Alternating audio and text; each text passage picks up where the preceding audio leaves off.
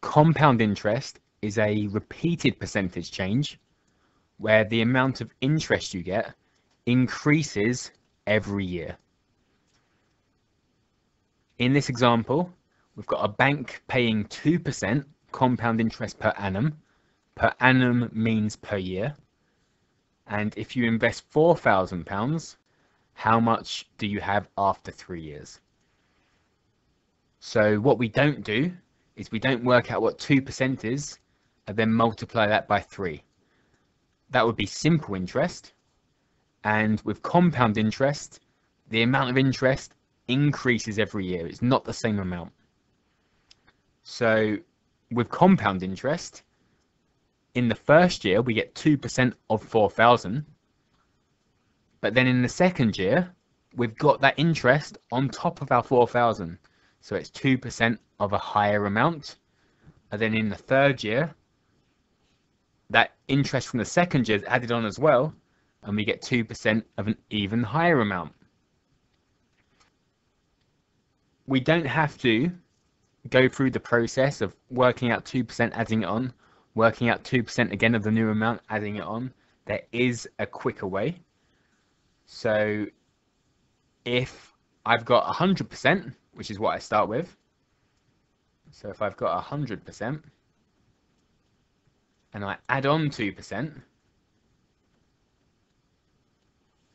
that means at the end of the year, I've got 102%. So at the end of the year, I want 102% of what I started with. And we can work out what 102% is by taking 4,000 and multiplying it by 102%.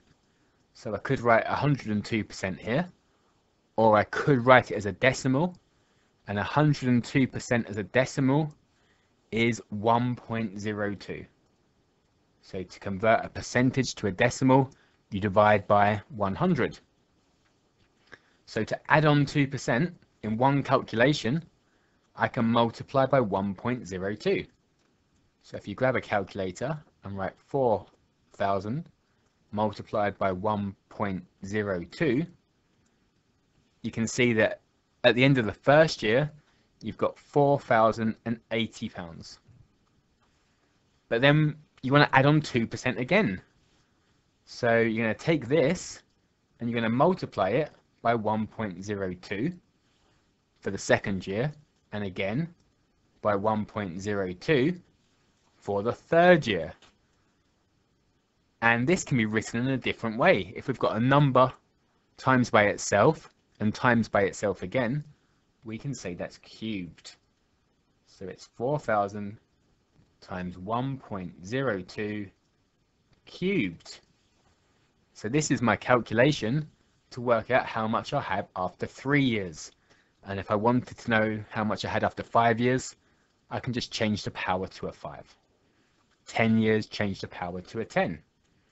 So let's go back into the calculator and I'll write 4,000 times 1.02 to the power of 3 and that tells me how much I've got.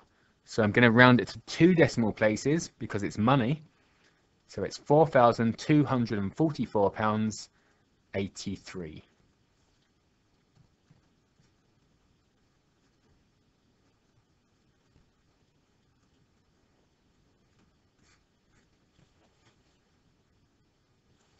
Okay, there's a question for you to try. So you can pause the video and give it a go and then press play or carry on watching when you're ready to go through the answer. Okay, a bank pays 5% compound interest per annum. You invest £5,200. How much do you have after four years? We're going to have 100% and we're adding on 5% this time. So I want, I'm going to have 105% at the end of each year, or as a decimal, that would be 1.05. So we call that a multiplier, 1.05. So we've got £5,200 to work out how much we've got at the end of the year, multiply by 1.05. But then for the second year, multiply by 1.05 again. The third year, 1.05 again. And the fourth year, 1.05 again. So we're going to multiply by 1.05 to the power of 4. So 5,200 times 1.05 to the power of 4.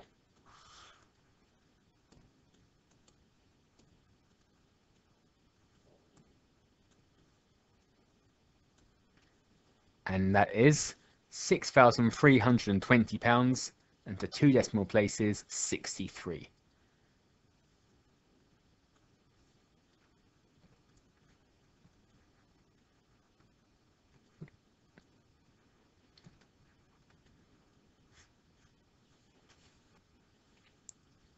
When we've got a repeated percentage change that's decreasing the value of something, we call that depreciation.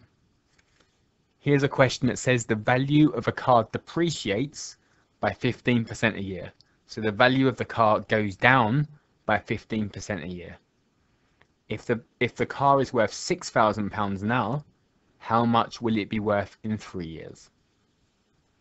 So at the end of each year, I'm going to have 100% minus 15%. So it's going down by 15%. So 100% take away 15%. That means I'm going to have 85% at the end of each year. And as a decimal, my multiplier, divide by 100, 0 0.85. So it's worth £6,000 at the start. So to find out what it's worth after one year, I multiply by 0.85. Two years, multiply by 0.85, and again by 0.85. And three years, we're multiplying by 0.85 cubed. So this goes into the calculator. 6,000 times 0.85 cubed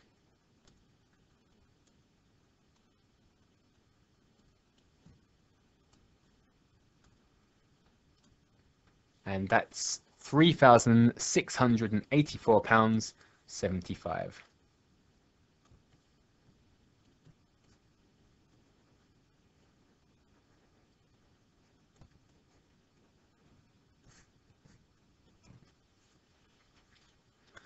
Okay, a question for you to try. Pause the video, give it a go, and press play when you're ready for the answer. The value of a card depreciates, goes down by 20% a year. If the car is worth £8,500 now, how much will it be worth in two years? So 100 take away 20 means you want 80% each year. So the multiplier is going to be 0.8. So it's worth £8,500 now multiply by 0.8 once to find out the value after one year and 0.8 again to find out the value after two years. So we've got 8,500 times 0.8 squared, which is 5,440.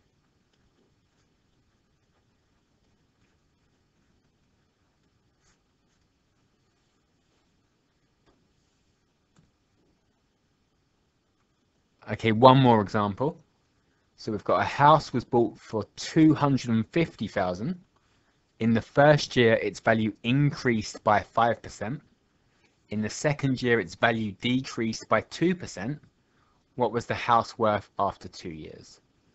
So again, what we can't do is take do 5% take away 2% and work out a 3% increase because we need to add on the 5%, so the house be worth a new amount before we can take off 2% of that new amount.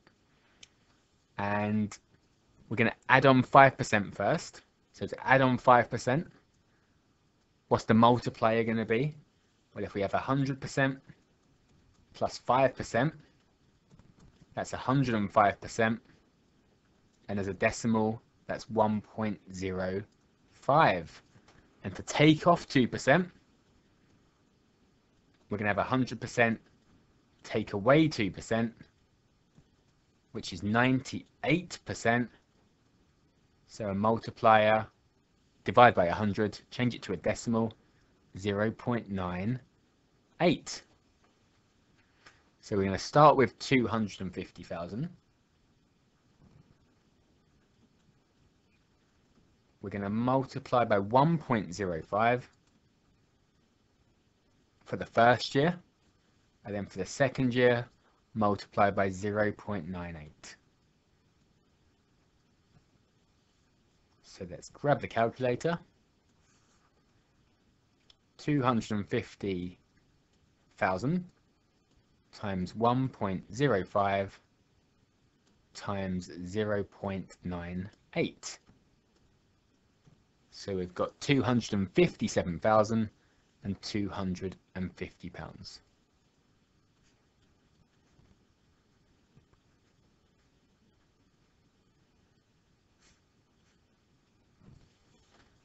And a question for you to try. So pause the video, give it a go, and press play when you're ready for the answer.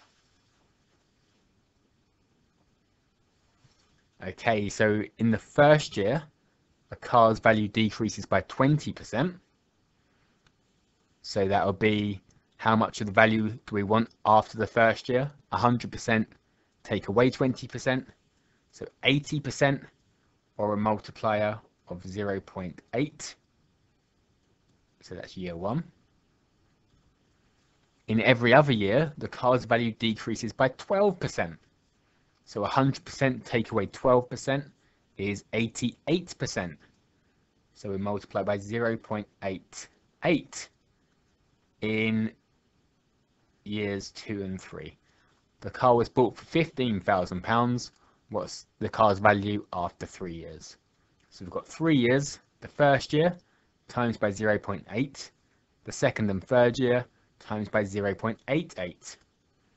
So we've got 15,000 times 0.8 for the first year and times 0.88 in the second year and times 0.88 again in the third year. So we'll type that into the calculator. 15,000 times 0.8 times 0.88 squared, which is 9,292 and 0.8, we can call that 80 pence.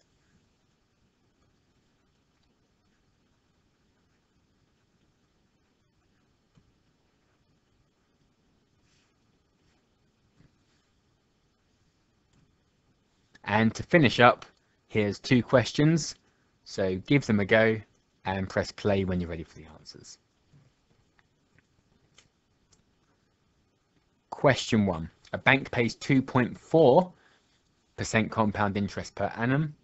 If you invest £1,800, how much do you have after five years? So 100% plus 2.4% is 102.4% and 102.4% as a decimal is 1.024. So my multiplier I'm going to use is 1.024. So I've got 1,800 times 1.024 and for five years, so to the power of 5, Let's type it into the calculator. 1800 times 1.024 to the power of 5. So two decimal places because it's money. So £2,026 62.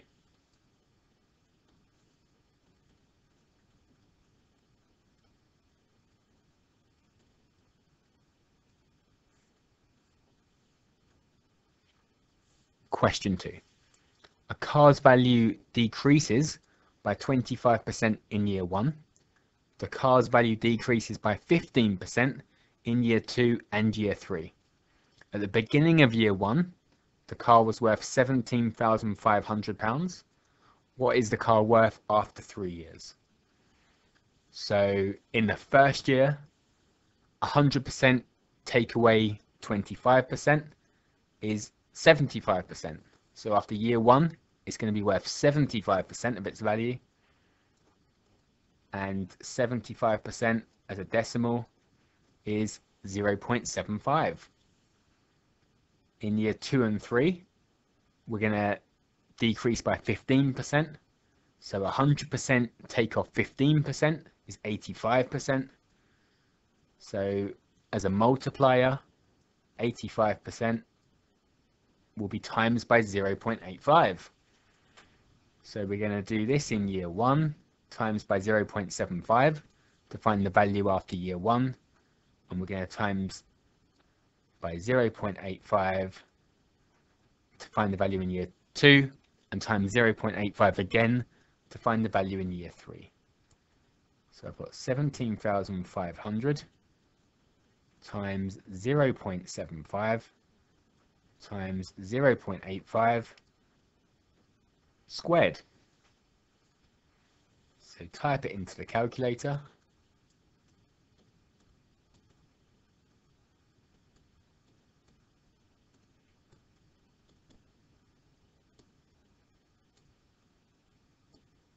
And to two decimal places again because it's money. 9,482 pounds 81